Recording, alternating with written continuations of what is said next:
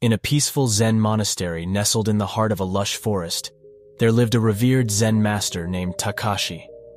Known for his wisdom and serenity, Takashi had spent years guiding seekers on the path of enlightenment. His teachings, filled with simplicity and depth, resonated with those burdened by the turmoil of their own minds.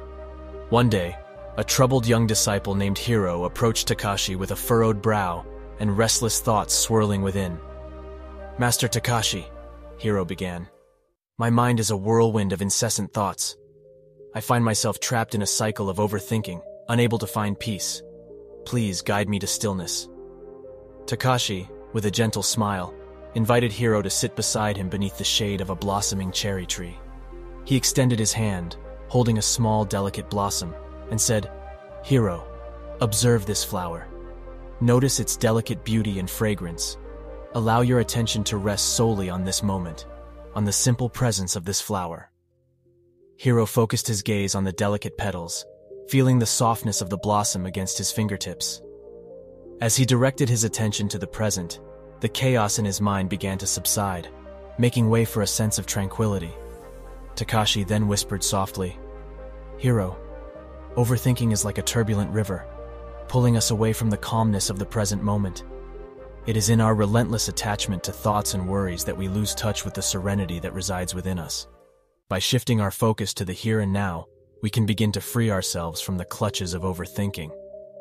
Hiro's eyes sparkled with understanding as he absorbed Takashi's words.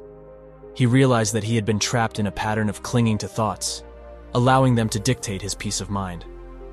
Inspired by Takashi's guidance, Hiro vowed to embark on a journey of mindful awareness, cultivating a calm mind and finding refuge in the present moment. Days turned into weeks, and Hiro practiced diligently under Takashi's guidance.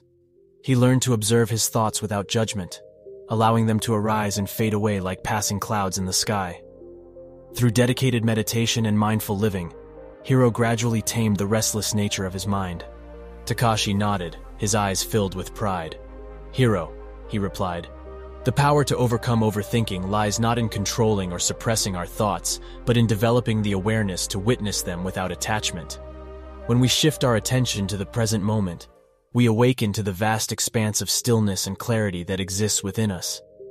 Empowered by his newfound wisdom, Hiro began to share Takashi's teachings with others who struggled with overthinking. He offered guidance and support, reminding them to return to the present moment and embrace the simplicity of each breath. Through his gentle presence, Hiro inspired countless individuals to break free from the chains of overthinking, leading them on a journey toward peace and self-discovery. And so, the story of Zen Master Takashi and his disciple Hiro echoed through the ages, reminding us that the path to freedom from overthinking lies in the power of awareness and presence.